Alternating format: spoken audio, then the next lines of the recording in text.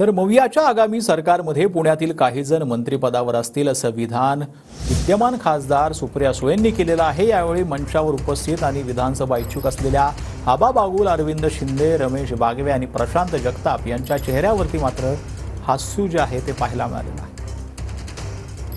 मी तुम्हाला शब्द देते की महाविकास आघाडीचं जेव्हा सरकार येईल तेव्हा यातले व्यासपीठावरचे काही मंत्री होतील अशी माझी अपेक्षा आहे त्यांच्याकडून. आणि माझ्या मतदारसंघातली कामं तुम्ही कराल एवढीच अपेक्षा करते.